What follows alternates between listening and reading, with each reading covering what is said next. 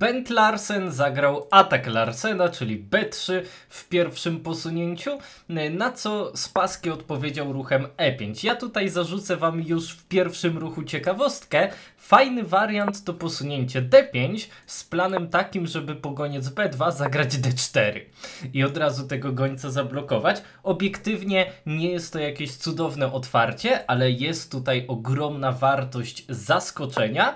No i później po prostu ustawiasz się w ten sposób, grasz E5, no i blokujesz całkowicie e, działanie tego gońca z B2.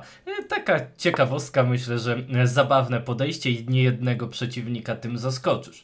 No i tutaj w partii e, zostało zagrane bardziej klasyczne E5, Goniec B2, skoczek C6, no i biały tutaj e, ustawił się przez C4, czyli idea jest taka, żeby pole D5 zabezpieczyć, żeby czarny tak e, całkowicie nie zdominował sytuacji w centrum, e, no bo oczywiście wtedy biały ma problemy. E, wiadomo, że mm, to jest takie nowoczesne podejście do szachów, czyli oddawanie centrum przeciwnikowi. E, klasyczne podejście do szachów, no to oczywiście natychmiastowa walka o centrum, E4 albo D4 i tak dalej. Później szachiści wyczaili, że to centrum właściwie można oddać pod warunkiem, że później, e, później je się atakuje. E, więc e, są debiuty, gdzie nawet z własnej woli oddaje się to centrum całkowicie, byle tylko wyciągnąć piony przeciwnika, które później są atakowane. No ale dobra. Mamy tutaj C4, e, czarny gra klasycznie, rozwój figur, skoczek F6, Spaskiego oczywiście e, wszyscy kojarzycie, wiecie kto to taki, e, przedstawiać nie trzeba. No i biały zwiększa tutaj tę presję na punkt E5. Czasami robi się to też przez wrzucenie gońca na B5, no ale w sytuacji, kiedy C4 zostało zagrane, no to oczywiście goniec B5 e, nie ma racji bytu. E, No i teraz e, czarny wyszedł z założenia, że najlepszą obroną jest atak. Prawidłowe podejście zresztą, czyli walnął tutaj od razu E4, i goniec C5, e, co oczywiście sprawia, że ten skoczek się tutaj pałęta. I obiektywnie najlepszym podejściem byłby przerzut skoczka e, w ogóle na G3 żeby później e, tym pionem z E4 się zainteresować, bo wcale nie tak łatwo będzie tego piona z E4 zabezpieczyć, e, ponieważ e, czarny no nie bardzo może zabezpieczyć tego koleżkę pionem, bo oczywiście pole D5 jest pod kontrolą białego, więc coś takiego dosyć przyjemne. Natomiast w partii nastąpiło skoczek bije C6, zazwyczaj kierujemy się zasadą bicia do centrum. Im więcej pionów w centrum, tym teoretycznie lepiej, ale czasami zdarzają się przypadki, gdzie lepiej jest odbić od centrum. To rzadko, rzadko się zdarza, natomiast tutaj się to opłaca. Dlaczego? E, Po pierwsze, presja po linii D e, wygląda tutaj bardzo fajnie. Po drugie, e, czarny chce tutaj zrobić długą roszadę. Więc te piony wyglądają całkiem zdrowo, powinny ładnie czarnego króla zabezpieczać. I w partii E3 czarny goniec F5, no to hetman C2, biały oczywiście jest zainteresowany nałożeniem jakiejś presji na piona E4. E, można było zagrać hetman D7. Hetman D7 ma dodatkowy atut, że goniec jest broniony, więc F3 nie ma racji bytu. E, ale w partii zostało zagrane hetman E7, to też ma dużo sensu, no bo nie oszukujmy się, na ten moment F3 no nie ma racji bytu, e, ponieważ czarny całkowicie już zakończył rozwój, więc w tej konfiguracji otwieranie centrum, no to to jest po prostu samobój, e, ponieważ e, faktycznie biały pozbędzie się pionka z E4, no ale wszystkie figury czarnego wkroczą tutaj do akcji, więc e, pozbyć się pozbędzie, ale skończy się to niedobrze. No dobrze, więc w partii mamy hetman E7, e, biały zagrał tutaj goniec E2 i nastąpiła długa roszada. E, Więc e, jest tutaj presja po linii D nałożona, król zabezpieczony, no i czarny jest e, gotowy do akcji. Biały właściwie powinien zrealizować tutaj taki dosyć długaśny plan. E, A3, B4, C5. To jest bardzo ważne, żeby dopchać tego piona aż do C5. No i teraz się skupcie, ponieważ wtedy będzie piękna placówka na D4.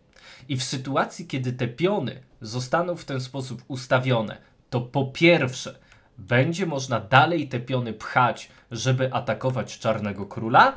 Po drugie, będzie możliwość przerzutu skoczka na d4, gdzie on będzie totalnie nie do ruszenia.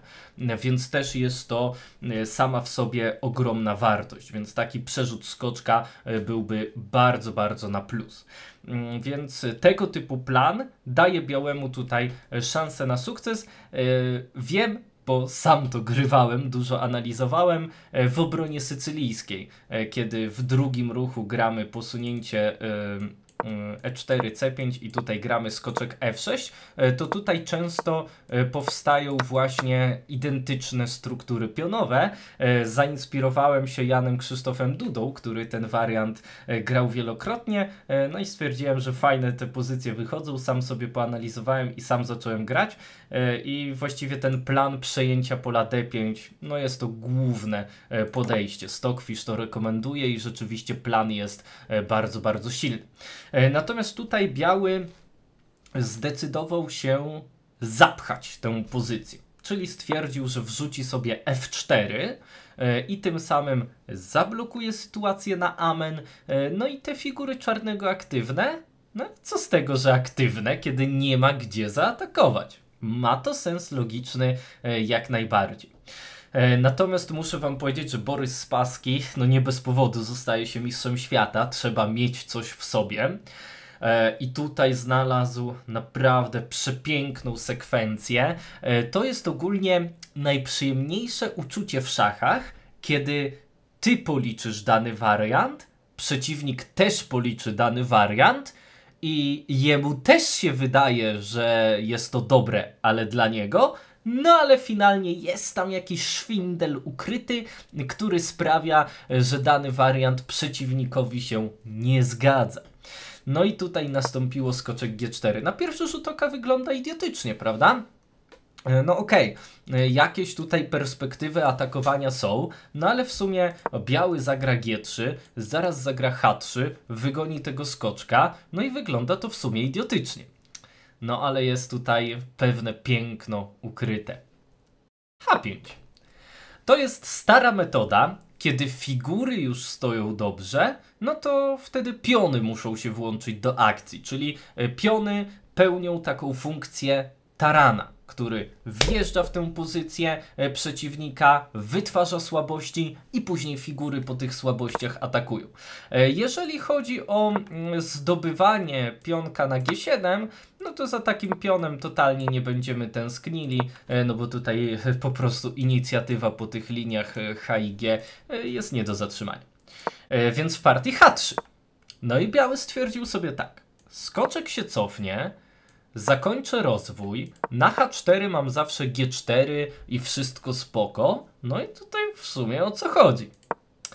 Ano chodzi o to, że czarny poświęca figurę. Tylko po to, żeby otworzyć linię H. H4. Genialna ofiara, bo na pierwszy rzut oka, no nie do końca wiadomo, po cholerę tutaj czarny oddaje ten materiał. No więc w partii nastąpiło bicie na G4, bicie na G3, i teraz, jeżeli nastąpi wymiana, no to okazuje się, że autentycznie nie ma obrony przed y, wjazdem na H1. No i później G2 i totalnie pozamiatane. O hetman H4 na deser nawet nie wspominam. Więc y, mamy tutaj wieża G1 w partii. No i w sumie tak. Jest już figura w plecy. Goniec tutaj podwisa. No pion na wieżę nie wskoczy, tak? E, więc e, wydaje się, że tutaj Spaski no w sumie przesadził. No i że teraz będzie przypał. No ale Spaski z daleka zaplanował kolejne naprawdę przecudowne uderzenie. Wieża H1. Kolejny genialny ruch.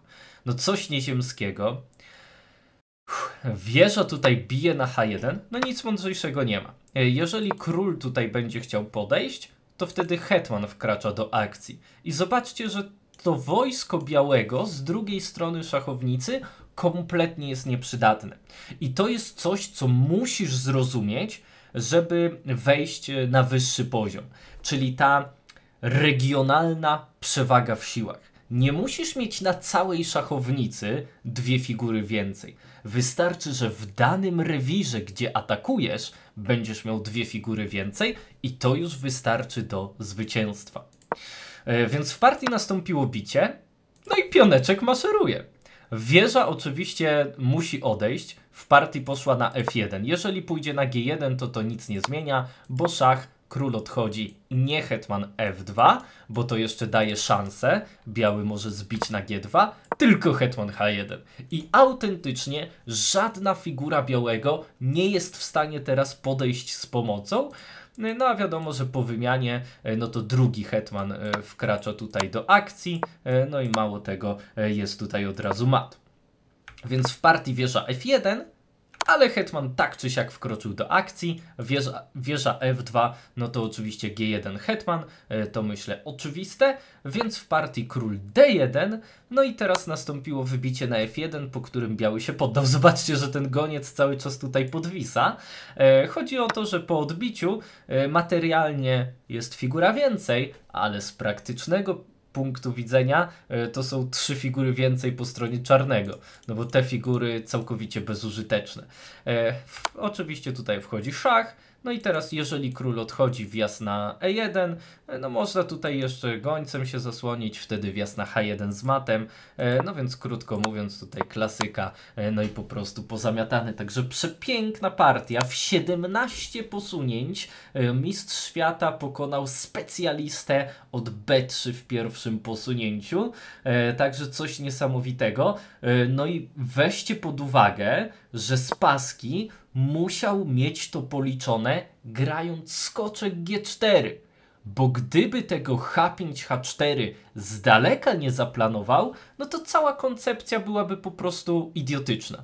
Gdyby nie to poświęcenie, to skoczek na G4 stoi miernie, no bo po prostu zostaje wygoniony i mało tego, biały później tymi pionami leci e, i rozwinie swoją inicjatywę na królewskim.